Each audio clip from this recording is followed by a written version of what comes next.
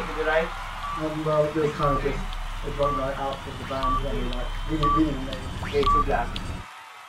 Hey everybody, I'm Chanel Hurlin for the New Music Buzz, and right now we're on the red carpet at the Pacific Design Center for the screening of the new Fox TV series Shots Fired. The red carpet is just about to start, so let's check it out.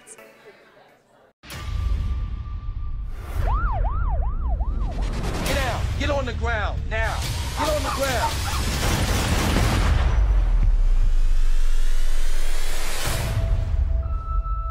There's been a police shooting of an unarmed man today. Governor called personally. She doesn't want another Ferguson.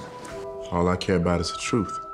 And my truth has no color. Uh, so my character's name is uh, Deputy Joshua Beck, and he's a young officer who's in the middle of this, the, the death of this young white kid in a small town in North Carolina. And you actually, you guys get a chance to watch how this, uh, how the community takes him, how the, the job takes him, how his family takes him after that, and all of the things that he goes through, and all of the different parts of him that are being pulled apart throughout the uh, throughout the show. Now, before you read this script, you were actually deciding if you wanted to carry on with acting or not. So, firstly, what was your reason for not carrying on with acting before you read the script? Uh, I just I love music so much, and uh, with music, it's it's kind of it's one of those uh, professions where you have to either you have to give your all or you there's there's no way that you can't half step it. Uh, so I, I was gonna I was gonna give it up just to kind of focus on that and yeah just focus on it a lot more. And then when you read the script, why, how, why did it resonate with you? Why did you say yes to it? Um, I think because at the time I made up my mind like if I'm gonna act, I want to do things that are bigger than me. I want to do things that can shapeshift the world in a sense. And uh, and this this script came on my desk, and I remember just sitting back and reading it and like, oh, okay, this is real.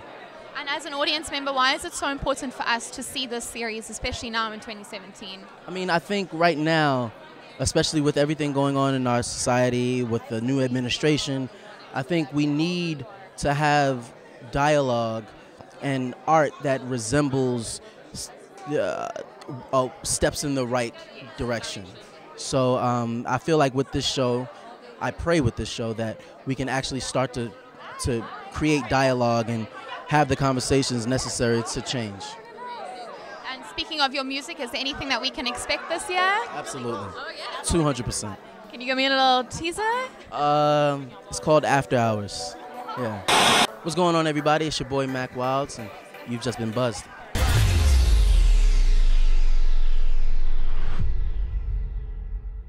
Camera one created it, right? Of a one night out with the band, and then like really, really made Creative Black.